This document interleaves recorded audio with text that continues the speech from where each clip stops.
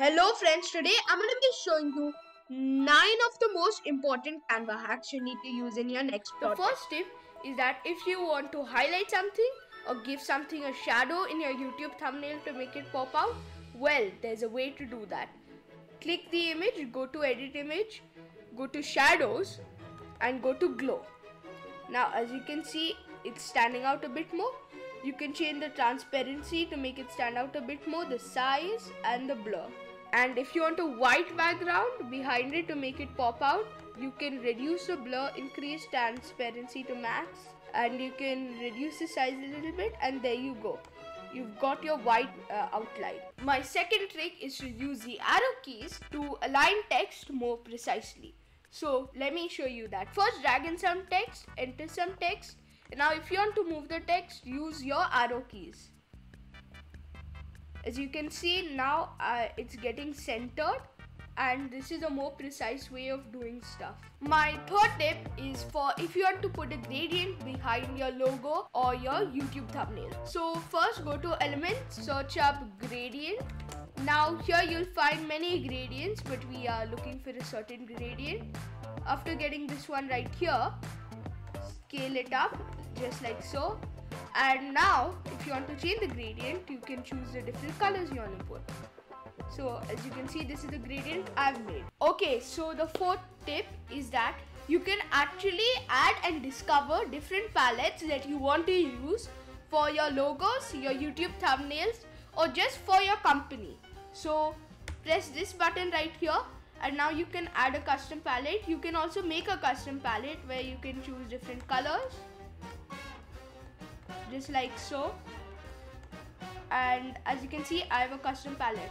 The next thing I want to show you is the brand fonts option. Basically here you can upload your very own font and you can use it. So let me show you how to do it. First click on upload a font button. Then go to the folder where you have uploaded the font. And after doing that upload the font. Just like so. One eternity later. And once it's complete voila here you go your font. Okay so now let's test out uploaded font. Let's search up Dosis. and now as you can see we have our Dosis extra light my next pro tip is creating a team. Basically you can create a team so that all of y'all can collaborate on one project. And if you're in a company you can see your other peers projects too. So i'm gonna create a team. Uh, coders destiny team and i'm gonna press the continue button. Now you need to enter all of their email addresses. And after that you need to press go to team. You can also get an invite link and then you can press go to team. You can upgrade your team members to Canva Pro, but we aren't going to be doing that now.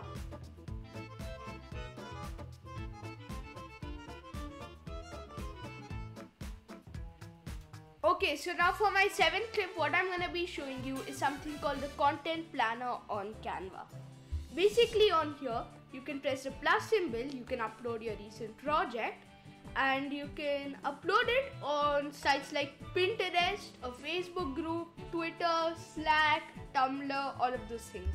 Ninth tip on Canva is if you want to make something bigger precisely, all you need to do is click on that something, press the control key and press the arrow keys. As you can see, my square is getting wider and becoming a rectangle. I can make it shorter, I can make it longer, and I can enlarge it and make it smaller is how you can upload your Canva projects onto different folders.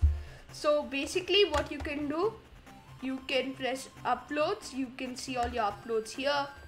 You can see all your designs, you can also see gradient shapes. You can create a new folder by clicking that button. You can name your folder. Hello, that's what I'm gonna name it. You can share it with a team member if you want.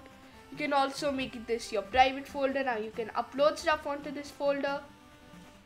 And I'm gonna upload um, an image onto this folder. So let's see.